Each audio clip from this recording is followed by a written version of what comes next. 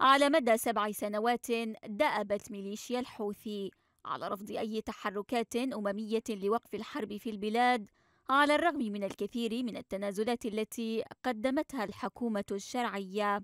فبعد أيام من قبول الشرعية لشروط ميليشيا الحوثي المتمثلة بفتح جزئي لمطار صنعاء وإدخال سفن الوقود وتخفيف الحصار على موانئ الحديدة إلا أن ميليشيا الحوثي عادت لفرض اشتراطات جديدة عقدت من جهود الأمم المتحدة الساعية لوقف الحرب.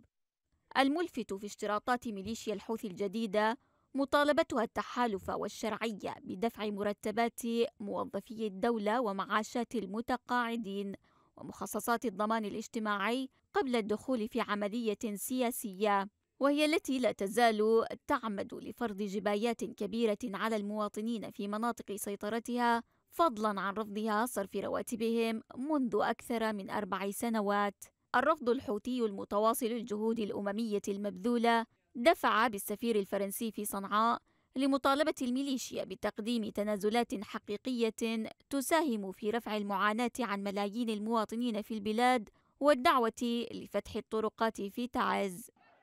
خلال سنوات الحرب عمدت ميليشيا الحوثي إلى مضاعفة معاناة المواطنين من خلال وقف صرف رواتبهم واستخدامها لتمويل حروبها خاصة أولئك الذين يقبعون في مناطق سيطرتها في وقت ترفض فيه الجلوس للوصول لحل سياسي.